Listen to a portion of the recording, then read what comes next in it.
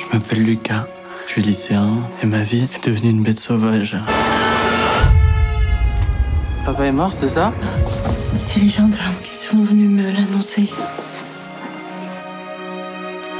Tu te sens comment? Je sens comme anesthésié. Je propose que Lucas vienne à, à Paris avec moi pour une semaine. Je vais pas pouvoir beaucoup m'occuper de toi, mais ça te fera un break avant le lycée comme ça.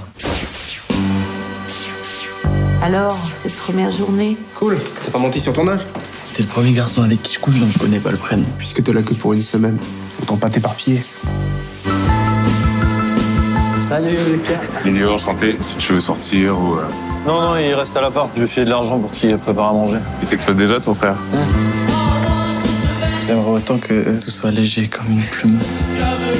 Moi, je suis libre. Il est libre.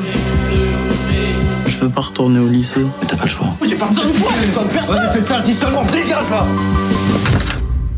T'as pas le droit de pas faire attention à moi, à maman. On a mal autant que toi.